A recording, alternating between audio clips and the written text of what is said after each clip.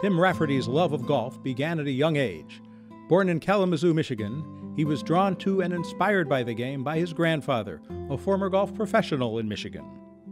Knowing he wanted to pursue a career in the golf industry, Rafferty earned a Bachelor of Science degree in business with a minor in professional golf management from Ferris State University in Big Rapids, Michigan.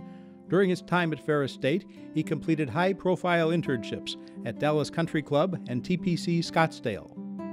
Following graduation, Rafferty began his career at Troon Country Club as a part time cart washer. After four years of learning and becoming well versed in teaching and playing, administering and mentoring, and merchandising, Tim earned an assistant professional position at the club. He was elected to PGA of America membership in 1995, and a year later was named the PGA head professional at Troon, where he remains today. Rafferty takes great pride in mentoring apprentices and assistant golf professionals. His development program is designed for them to be successful in every aspect of facility operations and management. He feels it's his duty to train, educate, empower, and evaluate every employee on a constant basis.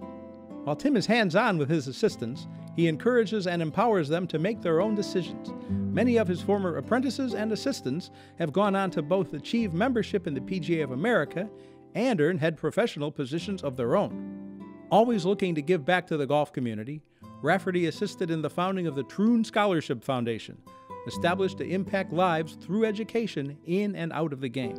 The numbers show the success. 22 students received tuition in 2015 at numerous educational facilities and institutions. Beyond the classroom, the foundation exposes new players and juniors to the game provides junior golf internship opportunities at the Junior Golf Association of Arizona, and raises money for local charities and provides free clinics, lessons, and tournament preparations through Rafferty's volunteering.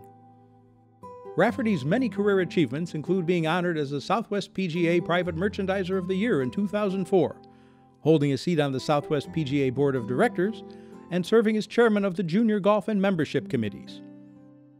Rafferty was instrumental in Troon hosting the Arizona Open Championship a record nine times and volunteered as a rules official during the championship. For five years in the mid 90s, Tim was a regular contributor to the Tee to Green column in the Scottsdale edition of the Arizona Republic. Use your imagination, Tim wrote in one column. He always has, on and off the course. A major reason Tim Rafferty is the Southwest PGA's Golf Professional of the Year.